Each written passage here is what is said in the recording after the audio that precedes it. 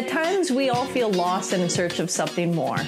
This is Cristina Dam, and this is Liberate the Podcast, a podcast designed to help inspire and guide you forward through everything spirituality, creativity, art, and just giving you a sense of empowerment so that you can be powerful, be magical, and be free.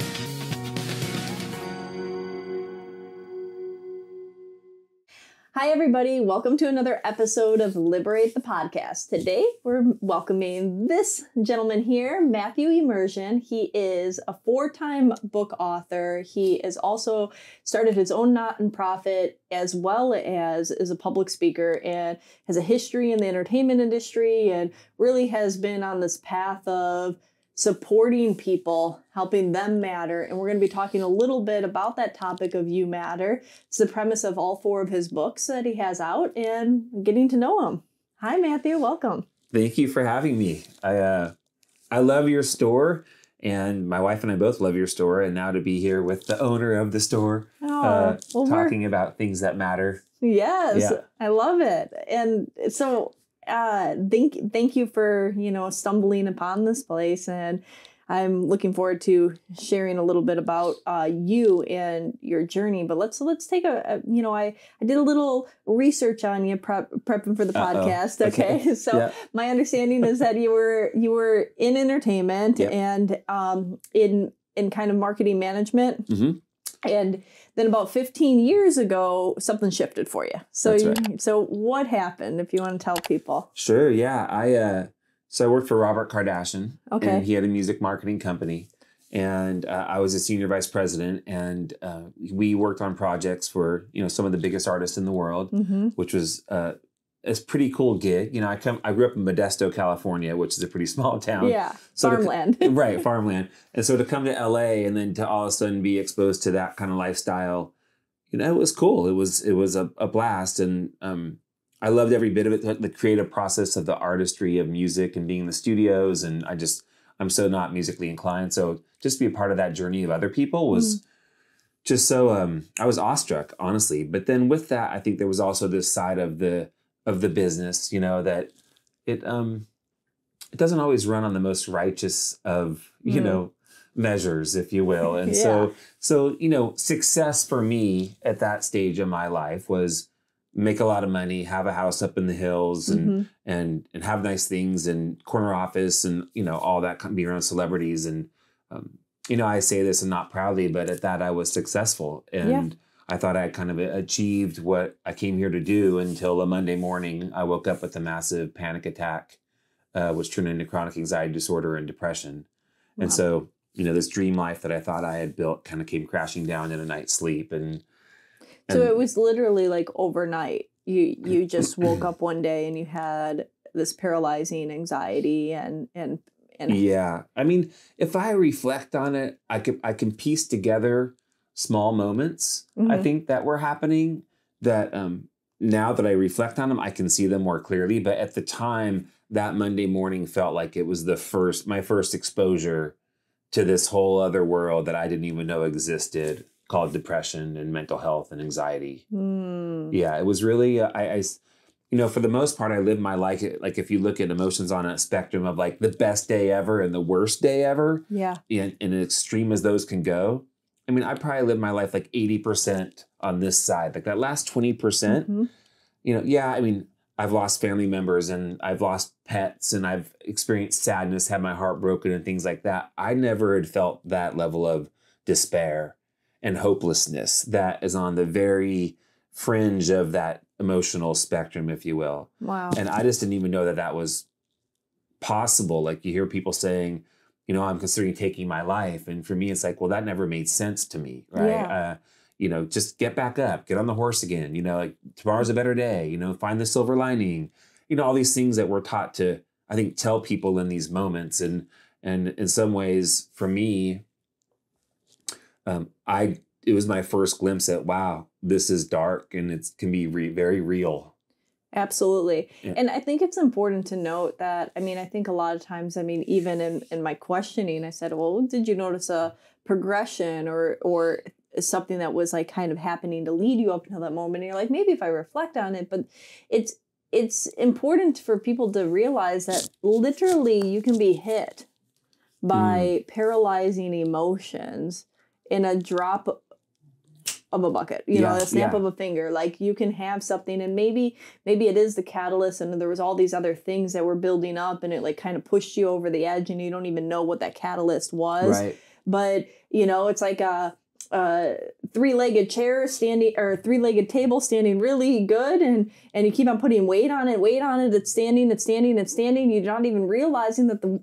leg's broken Right. and then all it takes is just like you can move it just a little bit boom it boom. comes crashing down right That's right. Yeah. and so, you know, I'm sure that there was, you know, a lot of things maybe out of balance in your life, Of living course. that type of, Of- lifestyle. Of course. But, you know, for people to realize that they too can have these shifts or dark nights of the souls or these anxiety and depression and and it's real. Yeah. And you know when people have those thought patterns and when they pe feel these paralyzing emotions, they get stuck in it. You know. Yeah, no, it, it is. It's har- and it's hard to shift out of it. And I tell people all the time, like, you know, if someone says to you, "I'm struggling, I'm going through this, I'm going through that," like, just listen, right? And Mhm. because um, even if we don't understand it, Yeah. because maybe we've never experienced the this that same thing, um, for that person, you know, if they look up and say the sky is green, just know that that's how they see it.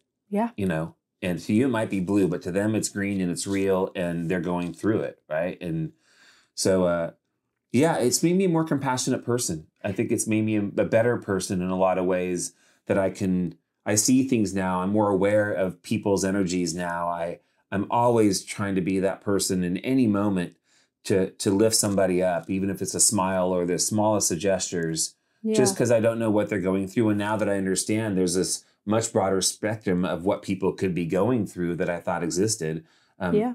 I just want to be the one that will always be there to to move them more towards the place of hope and happiness and joy and and all Oh. that. I love that. So let's share with me a little bit. So you wake up on that Monday, Yep. which uh, coincidentally is also, you know, um, you matter um, on or Mondays Every Mat- Monday Matters, Ma- right? Every Monday Yeah. matters, which is your nonprofit as well. And uh, so you wake up on Monday, you're feeling this, and then how long does this this doom kind of anxiety, panic, Sure. depression last? And what did you do as a step to try to pull yourself out of that quicksand? Yeah. So, you know, when and when I talk to people about like that first anxiety attack or panic attack, um, you know, it's so foreign. You don't know Mhm. what it is. I thought I was having a heart attack. And, and so I was 31, I was healthy, but Yeah. I thought I was having a heart attack. So again, I didn't know what this thing was. Um, you know, the doctor told me go home and rest and get some sleep, eat some good food. You, you know, you'll be better in a couple days. And and for me, like that's not what happened at Mhm. all. My uh, my panic attack got you know turned into a chronic condition where it was everything to get through every moment of every day, just to try to figure out like what's happening. And the truth is, in that moment, I was in more of a, a crisis mode. I was, I was like the water was crashing onto the ship at Yeah. a very rapid pace, and so um, my parents came down immediately to support me, which was incredible to have their love and support. Um, I was scared. I had a lot of fear in me. I, I had to surrender a lot. Just be like, I don't know what this is. I don't know how to fix it. I, had I known, I wouldn't have got myself in this position in the first place. Uh, but I mean, some of the biggest things were for me is that uh, I was just open to. I knew I had to feel better. I knew I wanted to feel better, and so I was open to whatever that would take. And between friends and my mom and dad, and and an amazing therapist who I jokingly call my expensive friend, and I think we all should have an expensive friend or a Yeah. couple. Um, it was really just being open to that process and and putting in the work. And I tell people all the time, if you're going through it, and because like you said with your table example, in some ways it's that one thing that can can break the back, right? yeah. But I didn't get there. It took me a long time to get to where I was, to where something could can make me kind of crumble, right? Yeah. And so I had to revisit like what are the choices I made? What are the developments in my life, both internally for me as a person, but also looking at the world around me. Yeah. And who are my friends? How are my relationships? What are my boundaries or lack thereof? You know, So you started to really assess everything. in your- everything. everything. Like I, I got to a point where like every single thing that I thought mattered, I had to accept that maybe it doesn't. Mm. And I had to start over. And that that's that's number one as a person or people who we think we're in control, we think we we make good choices, we think, you know, we have the agency to create, you know, whatever life we want to create. That's that's a very humbling thing to accept. Like, wow, in some ways my choices got me here. Yeah. And then also realizing that along this journey of healing, um, there was going to have to be changes in my life, and that maybe included people who I thought were my best buddies and and these really life-giving relationships that maybe ultimately they weren't.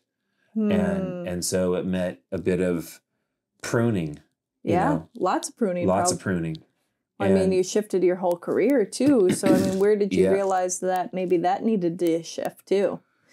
Yeah, well, so what happened is um, my therapist one day she came in and she gave me a motto, and the motto was she told me if um, for that I have to learn how, what it means to live a life that's not about me, and until I learn that motto, I'm never going to feel better. And so, you know, as someone who was depressed and anxious, had suicidal thoughts, um, worked in a narcissistic industry, when someone says, "Oh, it's not about you," Yeah. you're like, okay, well, then what could this be about? Because I'm the one sitting here in front of you struggling.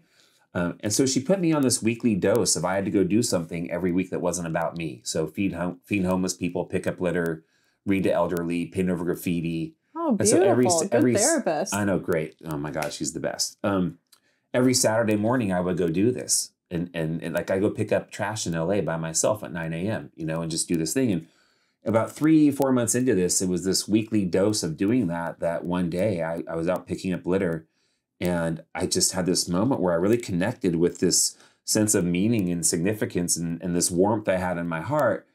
I was like, this is crazy because I feel more purpose and meaning picking up other people's trash than I do with all that other work I do all week. yeah. You know, with with a job that everyone would dream to have, you know, kind of thing.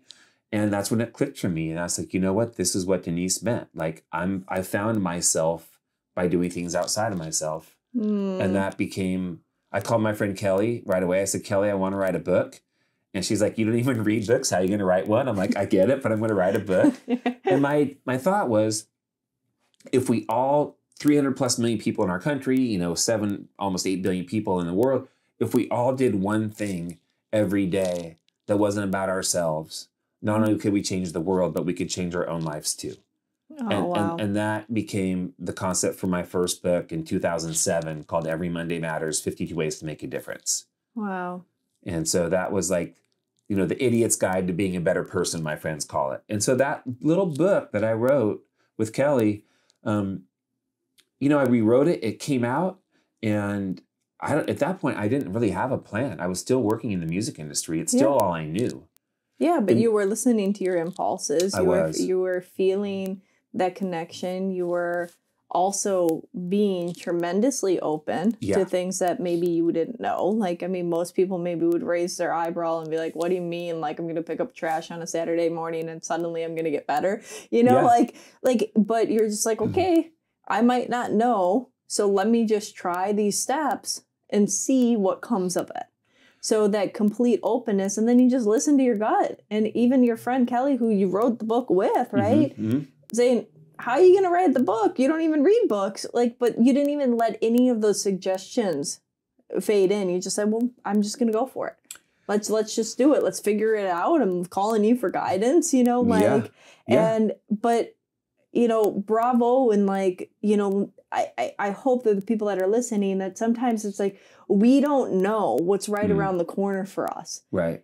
And so it's it's taking those steps and steps that seem completely like maybe bizarre or crazy could be the the token that leads you to that aha or that moment or that that insight or to meet this particular person or to be and see something that gives you a completely you know different idea Yeah. You know, thank you for that. I mean, you know, it's I was very open. I I um it was clear to me that I I didn't do it well on my own. mm-hmm. You know, and I just had to accept that. Like I I was in that position because of me and and so I had to to surrender to someone else to say, okay, I need a, you know, I need a coach. I need someone who can help me. And I've also been an athlete my whole life. And and so I played water polo my whole life, played for UCLA as well and in the college years. And I coached there after I, I played there. And you know, most of my life I've had a coach, a teacher, a parent, a coach Yeah. of some sorts in my life that helped me, you know, achieve a goal or stay focused on a certain goal or or Yeah. vision.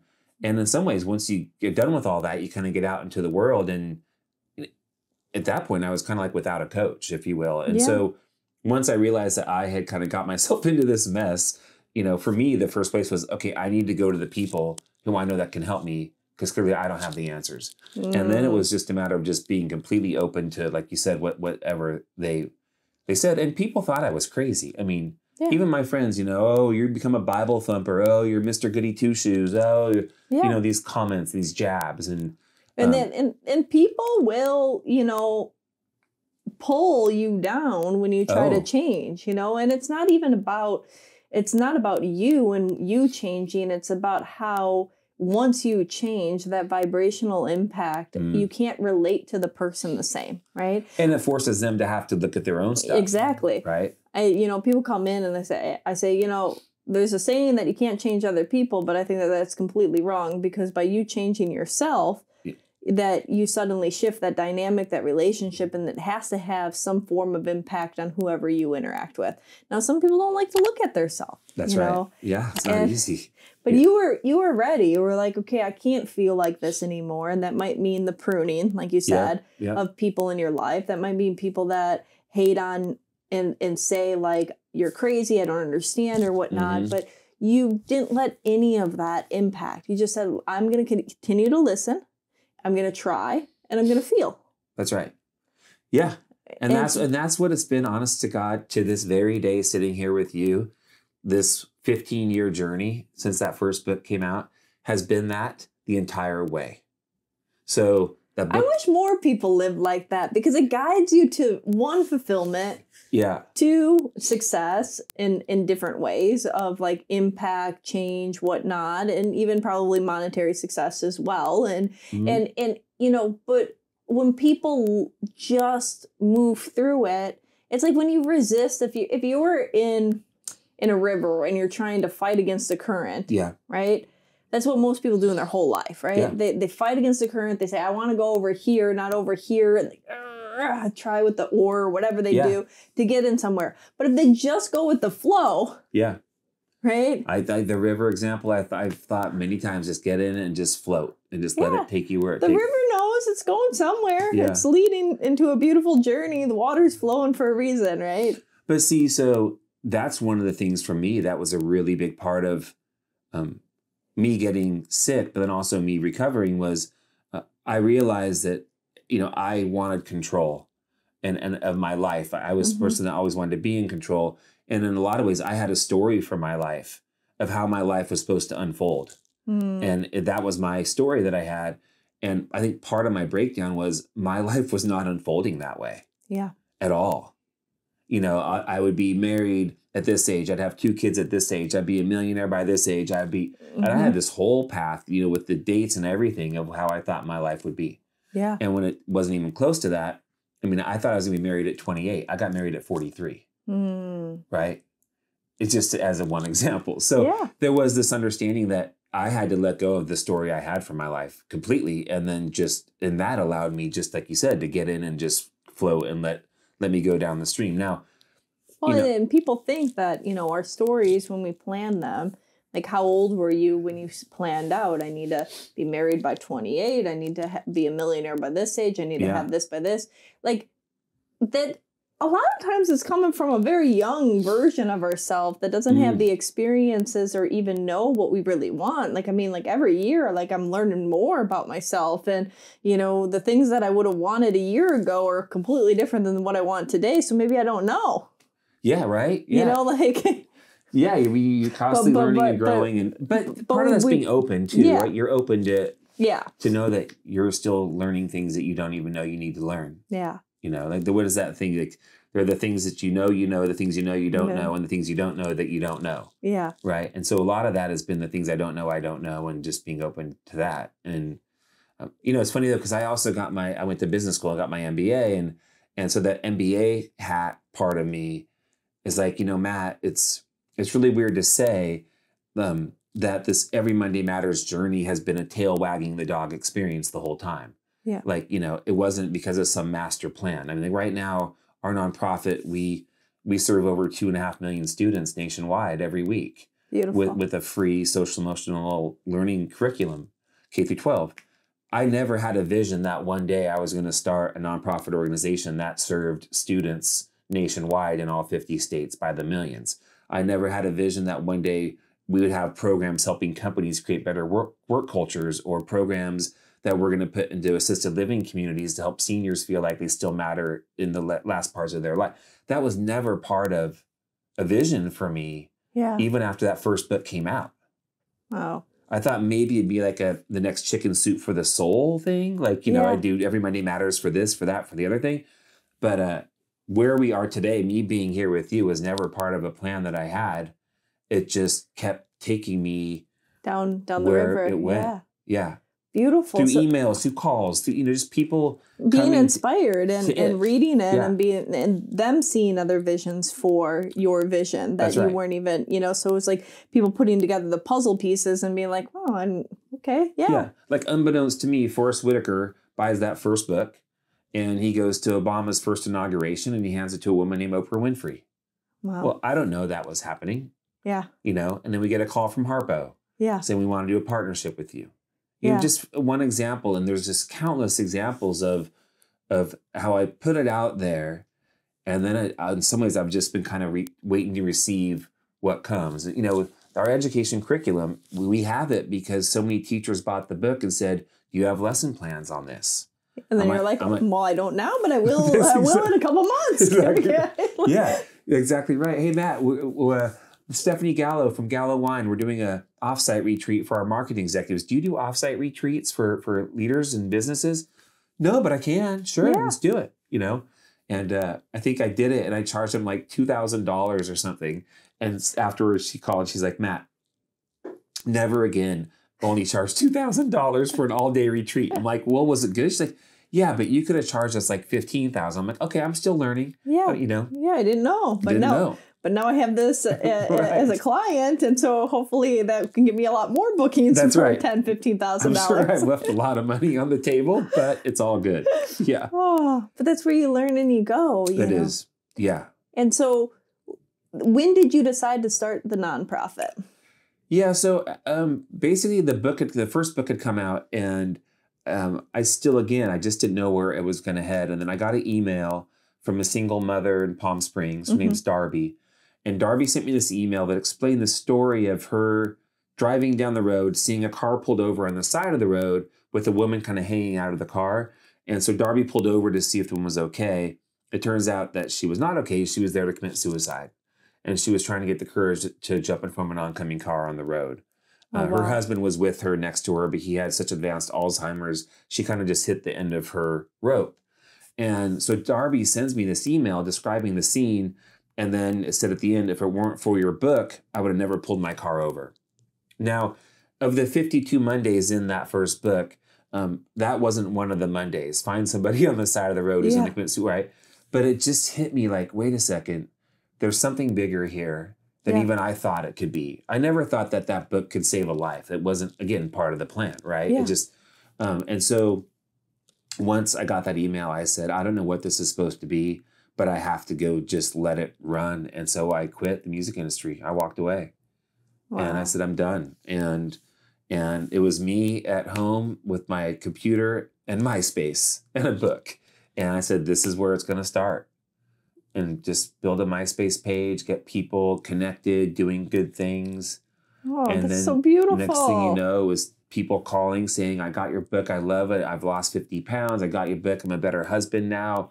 I got your book and we want school curriculum. It just it just started kind of happening. Yeah. And before you knew it, I had a my first employee working out of my apartment, and then um, eventually just grew to office space. And in the beginning, we became a small non or for profit company. Okay. So uh, selling school curriculum and selling corporate programs, and I was doing keynotes. And then um, along that path of being a for-profit, a couple things happened. Um, number one, I learned that our number one customer was the teacher themselves using Mm. their own personal credit card to buy our curriculum, and that wasn't okay with me Oh, because wow. I think our teachers are so vastly underpaid yeah, no, they're yeah and what they go through is just they're angels on earth for sure. And so that bothered me. And then also i was asked to come speak to a group of convicted felons. And a judge was using that book as part of like a restorative justice program. And uh, which i thought was incredible. So i went to speak to these men and women who were they're convicts. They were full jumpsuits an- ankle chains waist chains the whole nine Yeah. yards. And and after speaking with them and i told them how much they mattered even though maybe they'd made a mistake we all make mistakes and I can't remember every word I said to be honest with you because it's such an intense uh, experience. Uh, I asked her if I could give them all these wristbands we have that say "You Matter" on them, and she said I could. And so one of the gentlemen, um, he stood up, and after he's like, you know, no one's ever told me I matter before in my whole life, and that's why I ended up where I am today. And he started sobbing. He's like a big six six guy, wow. and it was in that moment where I, all of a sudden I started seeing mattering or having purpose and meaning in your life as actually like a cause to take on like Mm. not something i just sell to people in a self-help kind of way but more of like this is a global cause just as people don't have food or water people who don't have purpose and meaning and mattering is also just as devastating Wow. and so how can i help solve this issue that i see both individually and also globally um, as a cause Oh. which is a no, I mean it's so good but it's interesting because, because I- because when you when people find that level of feeling that they they matter, I mean even that that that's what happened to you on a level, right? You know, Mm-hmm. you discovered you mattered, and then the ripple effect of That's how right. many people's lives, like, hey, I found that I matter by do, by doing these things. In fifty two, you know, and now I created these these ideas to implant in people's he- head for 52 ways that they can you know make Yeah. a difference and you're getting calls and emails and and MySpace messages and all this stuff about how that created do do do do do. Yeah. Right. And that in a way, I mean, is far more valuable because when you inspire somebody, they can. That's like kind of like that that that cheesy metaphor. You know, you uh you know you can give somebody you know food fi- or yeah, food them how to or, fish, or you right. could, yeah yeah yeah and Yeah. and it's like forever abundance on that level. That's right. Yeah, and I, uh, you know, it hasn't been easy in that. So I have some good friends who they they run or started nonprofit organizations that build water wells, Uh huh. right? And it's really easy, um, not to belittle what they do because their work's incredible, but it's easy to hold up a glass of dirty drinking water and say, "Hey, people drink this and they die. Will you help us?" Yeah. and it's just it's such a clear visual they get it like okay a to b to c get it i give money they build a well they get clean water now they don't die when you're running a nonprofit and your cause is mattering mm-hmm. or purpose or significance and all these words uh, it's a little bit harder to explain Yeah. i would say. And but there's also this this trust um, and there's plenty of research on it as well but opening people's eyes to be like you know what? Imagine a person right now that doesn't feel like they matter. Yeah. imagine a person right now that has no hope or no purpose to their life. What does their life look like? What is the impact they have not just for themselves but on the world around them?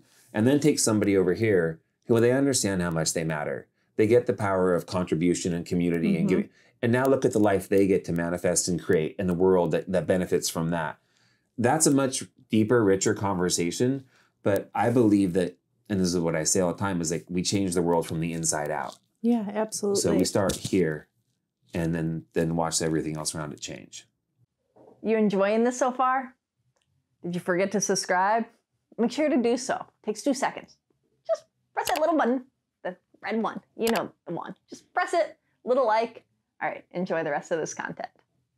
So now you start this nonprofit. so then we could yeah then we became a nonprofit and right? and you decided you know you first you know as you said one of your biggest customers or um, were the teachers so that was providing the free curriculum to Mm-hmm. Yeah. the schools right Yeah. which is still a basis of one of the biggest um, parts of your nonprofit That's right. now it's the emotional social learning Uh-huh. model Mhm. and then And so that now goes all over. You said what? How many? How many? Now we're a nation, a whole nation, and also like six, six or seven other countries. Beautiful. Yeah. And and so when you sit back and you look at this journey and yeah. you know, like what are a couple of the things that stand out to you most? Well, I I am always learning and changing in ways that I I never thought that I would. Um, you know, doing this whole journey, I I think was crazy enough for a lot of people to imagine, especially what I just come from. You know, spent my whole career um, going to a top ten business school in the country, and then getting to, that alone was a was a bit of a jump. Then to where I am today, one thing that um, has been profound for me is when I decided to change the, the from a for-profit company to a nonprofit organization. Hmm. And again, people thought I was crazy. They're like, Matt, you're building this brand. One one day, maybe you, you'll sell it to Hallmark or whatever and make millions of dollars. And and in those quiet places, when I got really just honest with why I'm doing what I'm doing, Mhm. it wasn't to be a millionaire. It was to to change lives and to change the world. And so when I became when it became a nonprofit, this thing happened that I, I never could have predicted because I never had done this before. Um, but all of a sudden it released it from me. So like I don't own every Monday Matters anymore. It's Mhm. not my company. Mhm. Like I just work for it. And there's this concept, this little book that could that started this thing I love it. called Every Monday Matters 15 years later that I can be fired from. I can be let go go of. I don't own this thing. It's for all of us to have. And and it's for all of us if we believe in it to just spread it as far as wide as we can. And that sense of release because even when you're doing good, you can still suffer from some of the same stuff, the ego stuff, a lot of the same thoughts and beliefs oh yeah. that you had just doing good. And we we see it all the time with people, leaders who are doing good in the world, and you you find out sadly that the whole thing was a scam, the whole thing was for them, you know, private Yeah. jets, you know, all that we've seen plenty of those sad stories. That um letting go of it, releasing it to be a nonprofit that I don't own has been one of the most beautiful things for me personally, but also for the organization. It's allowed it to grow in so many ways because it's not Matt's. Yeah. And and I love that it's not mine Oh, and and um, if you circle back to what to what my therapist said, it's not about you, yeah. right? And this thing's not about me. It started that way, I think, in a lot of ways as a for-profit. Then we became a nonprofit. It was still about me because I was the face, I was the name, I was my story Yeah. that started it. But every day, we we move further and further from, you know, this isn't about Matt. This is actually about a lot more lives than just his that Yeah. and stories that are are happening because of it. But you were the thread that brought it to life. That's right. Yeah. right? And you listened and you were guided and you took action. Yeah, but it's I fight it though. I mean, I do. Of like course, I, I yeah. want I want it to be bigger. You know, I want it to be better, stronger, fat. You know, those are these these things that I think we all have inside of us. You know, and and I've had to learn how to be really learn patience, and which is not easy for me Mhm. at all. That to just trust it's it's going as it's supposed to go. It's beautiful right where it is. Um, Yeah. But the doer in me, right? The I want to be bigger and, and affect more lives, and and and that can keep you up at night sometimes, and you just can't let it. You just have to Yeah. find peace with exactly where it's at, and And who knows, maybe in releasing it, that means something else is going to be birthed through you. and that's happening. That's happening a bit right now too. Actually, You know, like sometimes we let go of one thing because it makes that can continue to live and breathe and Yeah. be its own ecosystem. And Yep. then that gives your energy and your time to start to create another. You're so good. Uh, yeah, so that's happening for me right now, actually, and it's been another just incredible journey. Um, it's been at least like a year and a half, maybe two years now, where I've been leaning in to who is Matthew Emerzian Mhm. now, and what does he want to do, like with his time and his life, and because the organization, it's so great because of the the team we have Yeah. right? It's like I'm like the founder who they put like in the closet to sweep, you know. Yeah. and- you know, like at this point, like Matt, go over there and pick that up, and then leave us alone. The team is incredible, Yeah. and and so in so many ways they don't even need me because they're so good. But I have been really thinking a lot about because if you're a student or a teacher using our education program, you're dialed in. If you're a company doing our corporate stuff, you're dialed in. But what about what about you? You and I just met. Like, yeah. is there a journey that you would like to go on as an individual mm. with this idea of mattering and and finding these things in your life that maybe you don't feel like you have? And so, how can Matt, the individual, create and curate these experiences, whether that's retreats or whether that's courses, um, to take individuals who are also looking yeah. to find something more. And and I've always shied away from it. And I've always I'll go out and do a big keynote and I'll come back home and I'll go right, I'll tuck right behind the brand every Monday matters again.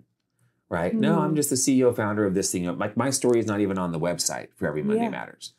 And finally it's like enough friends are like, okay, dude, that's enough. Like you've written four books, you've done TED Talks, you've da da da da. You can help people and by not doing this thing, you're actually doing a disservice to so many individuals who would love to go on a more in depth journey with you. Yeah. And really go to those places. And, and t- absolutely. And a lot of times, you know, uh, people companies are okay and they're great and they reach reach organizations and, yeah. and corporations or education systems and that's but when it comes to an individual individuals like to relate yeah yeah. And so there's nothing like relating to, you know, Monday Matters great, whatever. If I was hiring eh, eh, the company to do stuff with this, yeah. But if it was me, yep. I I'd want a face to face person that I know right. they went went on that journey. How how how can you give me some of that you know essence of what you've cultivated? Yeah. So beautifully in your life, because you can probably see in people hearing people's stories being on the other uh, other end probably do it automatically to all of your employees and or the employees of the mm-hmm. nonprofit is that you help them find that.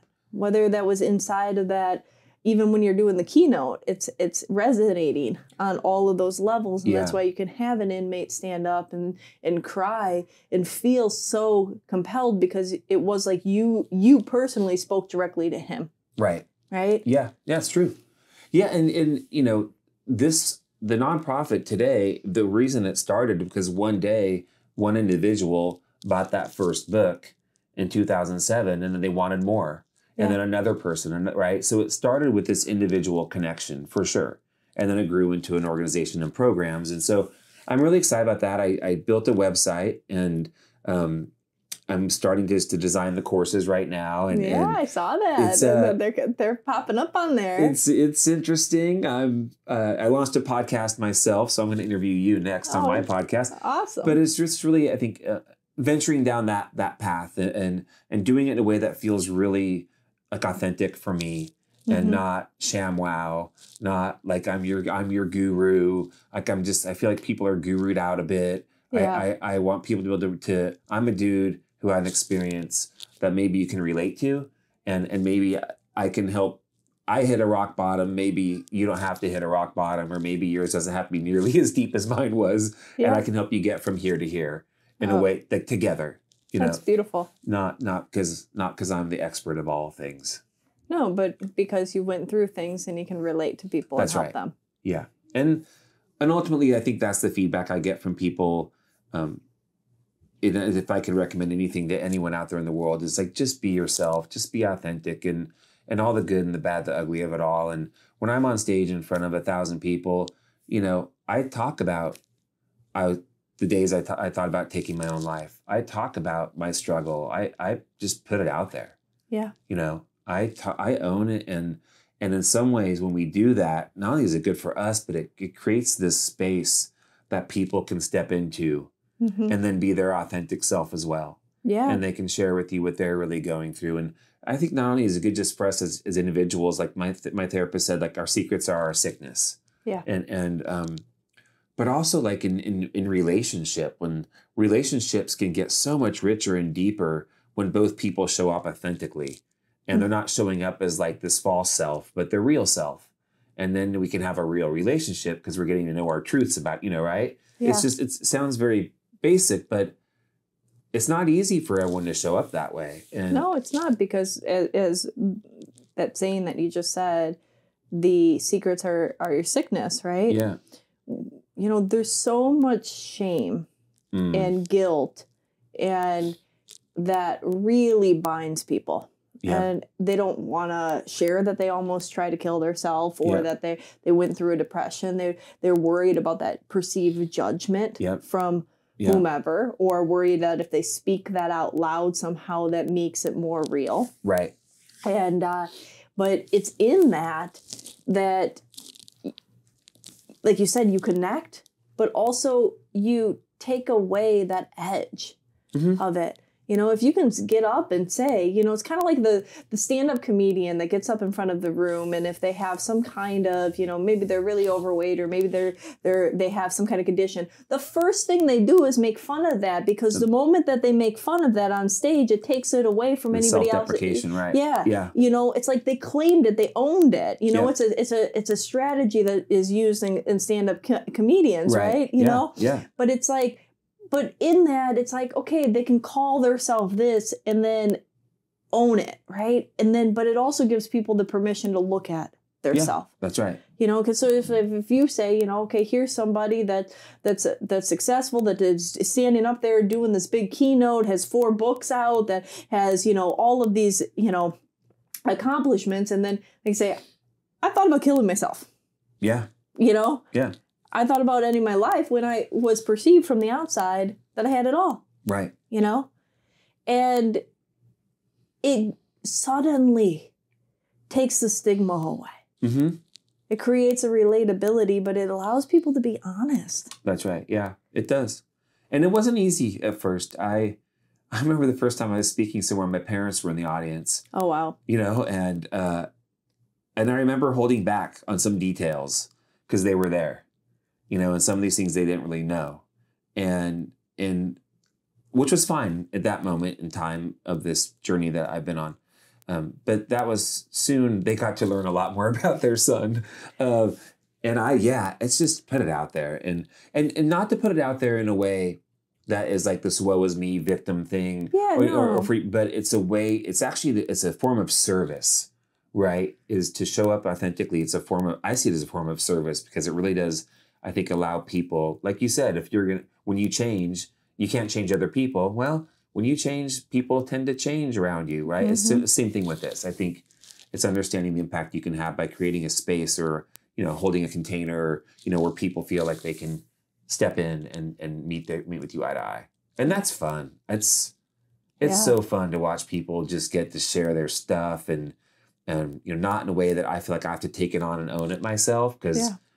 You know, I, I can't and, and that's not good for anyone, but just to let them kind of start to step more into their authentic self and and again that's just all part of the mattering part and i don't know if it's i like what saying i like better if it's i want to make a t-shirt that says either imperfectly perfect or perfectly imperfect and i don't Yeah. know which is which is which but I, I like them both and and it's nice to just yeah i mean i'm perfectly imperfect and i'm imperfectly perfect and Yeah. i am i'm who i am And and constantly growing and evolving. That's and it. in those those areas that maybe are more of our shadow self or that area that we need to look at that well, that gives it energy to life right it's Mhm. like okay i i have a challenge i have an obstacle it's like you know you you played water polo you did you know like you need the resistance to Mhm. build the mass to become faster stronger more muscular whatever you need that right and it's through that you don't go into a workout and say oh wow that pushed me too hard i can't ever go back. You say like that workout now i feel like i'm getting stronger i can feel my muscles sore the next day like i know this is good. Yeah exactly. Yeah, Right? absolutely.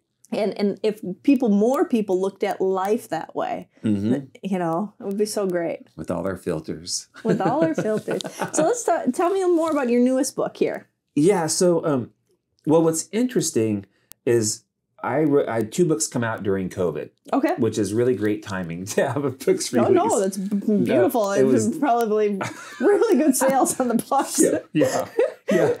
No, everything's shutting down. The world's shutting down. Matt's going to write two books. Uh, so yeah, my publisher, we have we we're able to laugh about it because Uh-huh. who, who could have thunk it, right? But um, My newest book is called Every Monday Matters for Families, which just came out last year, which is a book for families to do together every single week. It's built off of monthly themes like Monday gets compassionate, Monday gets kind, Monday gets adventurous, and every Monday is a strategy to go do something together with your family. And the family can be your biological family, your work family, your walking group, your church, whatever group. Yeah. This book, though, is different from all the other the, the other three books because those were every Monday Matters books. They're very Yeah. um, you know practical. This is what you do one Monday at a time. Yeah, and they're all based on the 52 weeks. Yeah, and, you know. And this book is like my this is my baby right there. The, um, okay, this, let, let me hear about it. this is um it's the first time I ever talked about wrote my story, my personal story, for starters, Mm. and uh, which I thought originally that was going to be the book. Now my part of the story is only the introduction, and then the rest of that book is all about helping the reader connect to three perspectives that, from a program perspective, at every Monday matters we use on all our programs, but also it's just a way that I live my life every day, and it's to understand the ideas of I matter, you matter, and we matter. Hmm. And so, you know, this I matter is understanding this sense of self. And the truth is, if I look back on my therapy, um, in those first moments when things were bad, it was I had to understand who I was. So understanding who I was, my emotions, why I feel the way the Mhm. choices I make. Was very this internal kind of um, view. And after I, that kind of got, I understood that better, and the ship was a little more stable. I kind of started to look outside of myself Mhm. and I started to see the friendships and the relationships and and num- number one, you know, what works and doesn't work, but also understanding our power and our ability to impact people around us through our words, Mhm. through our choices, through our actions. Like Yeah. us humans are very powerful people, and we can choose to be forces for good, or we can choose to be forces for not good. And Yeah. and we all get to wake up with that choice every day. Hmm. And and so when you understand how much you matter, when you understand how powerful you are, then now the rest is up to you. And so there's this idea of the you matter part is knowing how you impact those around you. Then the we matter part is kind of this idea that we're part of something much bigger than ourselves. Yeah. And call it what you want. This is not to be a religious play or anything like that. But the fact is, is there are bigger forces in the world than just me. And I'm also part of something bigger than just me. And together we can do so much more Yeah. good than by ourselves right and and so this book really lays out those three perspectives of the i matter the you matter and the we matter and it shares stories for each of those perspectives and then things you can do to kind of really i think engage with and embrace what those perspectives are more and what i discovered throughout writing this book was um, in a lot of ways i'd been doing this certain way for 12 years or something 10 years and then I realized when I wrote the last chapter that I actually it shifted for me. So originally the I matter was also always the smallest circle in the middle. Then the Hmm. you matter was this ring around it, and the we matter was this bigger ring. And that's always how I drew it and explained it to people. Yeah. You know, the I, then the you, and then the bigger we. And this book, when I wrote the last chapter and I reread, it, I'm like, wait, I have that wrong. Like it's it's Ah. not like that anymore for me. And then all of a sudden it became is three circles that are all the same size and they're all equally important. The I matter, the the you matter, the we matter are, are all equally important. And in a Venn diagram sort of way where they all three overlap in the middle is where I believe us as humans are, are, are at our absolute best. That at any moment we're aware of our needs, we're aware of how we can serve others, and we're aware that we play a major role in impacting this larger thing called life. And and when we're always in that place of knowing it's either an I, a you, or a we, or a combination of all those, personally, professionally, socially, um, then that's when we that's when I think we're we're doing our best work. Oh, I couldn't agree more. Yeah. So that's what that book's about. Oh, I love it. Yeah. Let me hold it up for everybody. You guys can get this on Amazon, and do you sell it on your website too? Or- Um, or, uh, no. so A- Amazon Yeah. and in Liberate. yeah. um, That's funny. and so Matthew, I know like MatthewEmerzian.com is your Yep. newest one with all of your one to one kind of helping people as you are the guide. You're creating these beautiful courses that people they don't have to work with you in real time. They can work with you at their time, but through you. And Mhm. then um, some of this other uh, working closely, more closely with you on a one on one basis. And then um, it's everymondaymatters.com or .org. It's both. Either Oh, one. okay. Yeah, either one. okay. Okay. So, for if anybody wants to find out more information about you, and Yeah. do you have a social handle or anything? I do. It's at emerzian, and for every Monday matters, it's at Mondays matter. Okay. And so, uh, you know, that's a whole nother. I'm not the best social media person in the I'm world. horrible. I'm really trying to embrace it, but uh, I'm so this. Like, I love. I could do this Yeah. here for hours with you. No, me too. I'm the Right. same way. It's like it's like um, the Instagram, Facebook, the different things. I'm like, oh, now it's like TikTok and I this know. and Snapchat. I'm like, I can't even keep up. It's hard to keep up, and it's hard to feel like it's meaningful connection. Yeah. um, God, you know what's so funny is I know that I'm you're interviewing me, but I, this whole conversation I've been thinking about and explain as much as you'd like, but this store was a journey for you as well, right? Oh yeah, absolutely. Is this your first store you've ever done like this? Uh, no, so I have a I have a smaller location in Los Feliz that I've had for twelve years, Okay. and that was a journey. Okay. You know, not That's where the journey that, started. That's where the journey started. That I I wasn't thinking that I was gonna have that. I w- went to school for hypnotherapy and psychology, master's Oh, cool. in psychology, and then I was doing one on one. And I had an office in the Taft building. Now Okay. this in the- in Hollywood. This was and then the W was going in, and oh, it became jackhammering. Well, you can't hypnotize people when it's jackhammering going on.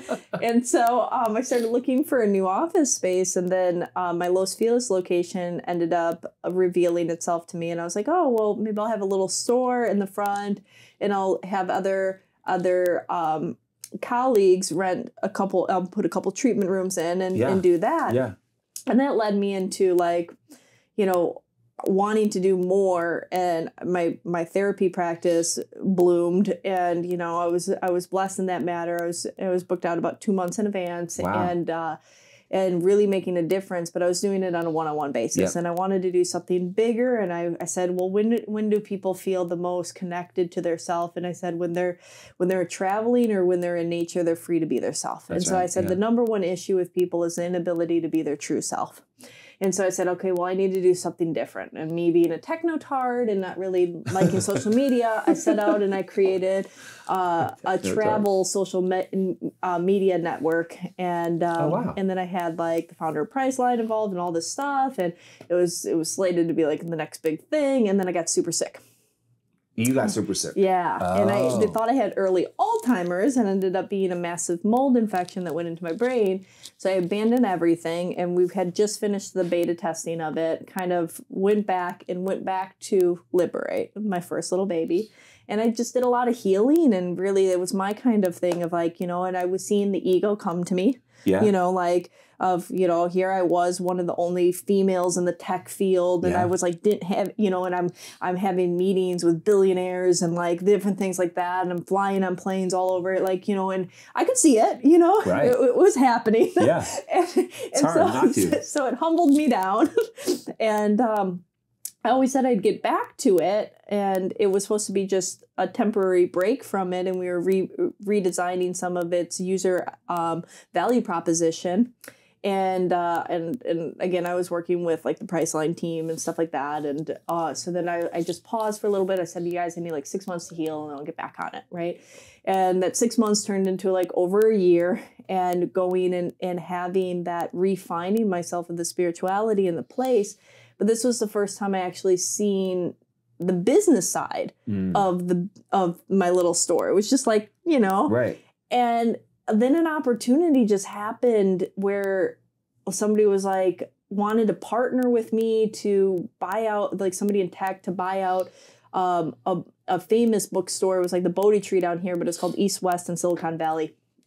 And I was like, yeah, so we put in a bid for it and then they ended up it didn't it fell through and then that idea of this bigger location sat with me. I got you. And so I opened this place called Liberate Hollywood, and that was 6,500 square feet plus a rooftop. And it, but it was filled with so many problems and conflicts. I've never, I thought I would set it up and then I'd be back to my tech venture. Mm. And that wasn't, it was l- spiritual lesson after spiritual lesson after like all of this craziness. Like, I mean, I can't even write the th- crap that the, the place went through. Right. And so the pandemic ended up putting the nail in the coffin, and as weird synchronicity would have it, now it's be being turned into the Museum of Death, like the, that location. Yeah. Um, but if I, I mean, this is on the spiritual hooey wooey stuff, but I mean, like there was so much. I feel like that place was cursed beyond cursed. It was an old music studio Okay. that was uh, yeah. like Michael Jackson, The Doors, Jackson Five, Earth, Wind, and Fire. They all recorded there. Oh my gosh. 1,400 gold and platinum records were recorded in that space. And so it, but it just had the seedy energy to it that I tried. And now it's the Museum of Death. And now it's the Museum of Death. So it was like whatever spirits or hooey wooey was going on in there, it was like we just want it to be dark. And then it got the perfect tenant after I left. yeah, found it's found its person. It's found its perfect Right. Place. serial killer like memorabilia can go in there.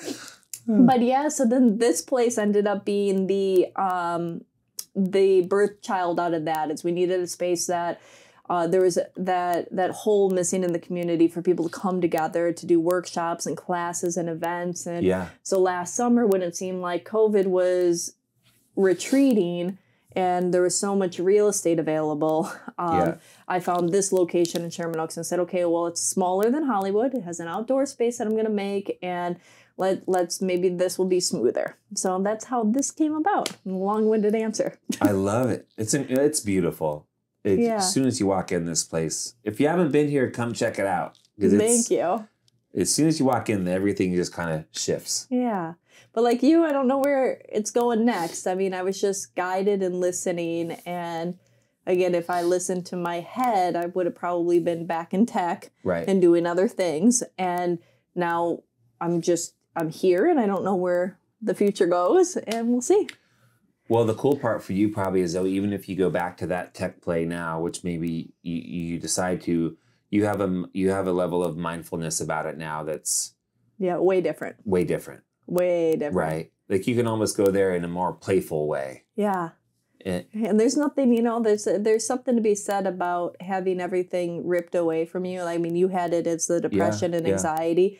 I had it in l- literally giving up my car because I couldn't drive because my brain and was like I Yeah. just like I couldn't even speak.